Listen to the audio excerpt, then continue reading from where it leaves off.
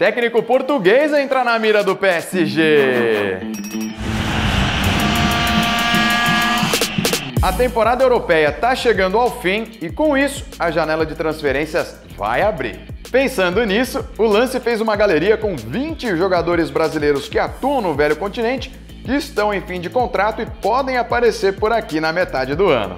Quer saber quem são e se seu time está interessado em algum deles? Então corre lá no nosso site. O Bayern de Munique anunciou a renovação de contrato de Manuel Neuer até junho de 2024.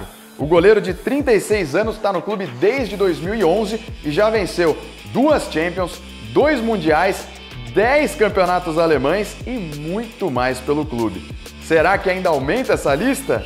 E o PSG conseguiu confirmar a permanência de Mbappé para a próxima temporada, mas ainda não confirmou o treinador.